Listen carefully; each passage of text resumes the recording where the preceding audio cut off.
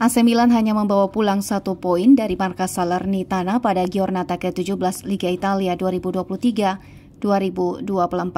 Laga Salernitana versus Milan yang berlangsung di Stadion Arechi Sabtu 23 Desember 2023 dini hari waktu Indonesia berakhir dengan skor sama 2-2. Sepasang gol tuan rumah tercipta berkat Federico Fasio dan Antonio Candreva. Sementara gol-gol Milan dicetak Fikayo Tomori dan Luka Jovic. Hasil imbang ini membuat Milan tertahan di peringkat ketiga dengan 33 poin.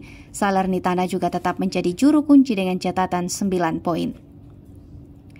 Gol diawali tendangan bebas dari Christian Pulisic di sisi kiri penyerangan Milan. Bola mengarah ke Rafael Leao yang mengontrolnya dengan dada sebelum memberikan umpan ke depan gawang disambut Tomori. Menjelang babak pertama tuntas, tuan rumah menyamakan kedudukan via sundulan Federico Fasio yang memanfaatkan sepak pojok Antonio Candreva. Rossoneri, julukan Milan, nyaris menggandakan keunggulan di menit ke-60, andai saja tendangan dari Ruben Loftus gagal di ditepis kiper Salernitana, Bonoi Kostil. Tiga menit setelahnya Salernitana justru berhasil membobol gawang Milan dan berbalik memimpin menjadi 2-1. Kanrepa yang sebelumnya membuat assist kini mencatatkan namanya di papan skor.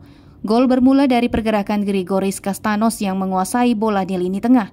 Ia lantas mengoper bola di kaki Kanreva yang menusuk ke dalam kotak penalti. Tendangan Kanreva sukses bersarang di pojok gawang Milan. Kaifer Milan Mike Maiknan berhasil menggagalkan peluang Salernitana pada menit ke-67.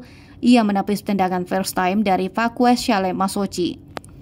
Kemudian Kostil melakukan penyelamatan ganda di menit ke-80.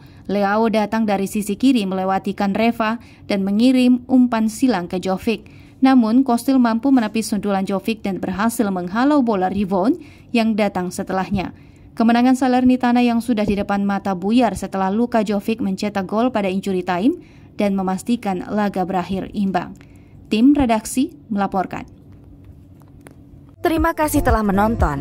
Jangan lupa subscribe, like, comment, and share. Saksikan terus informasi terbaru dengan menekan tombol lonceng hanya di channel Fajar TV.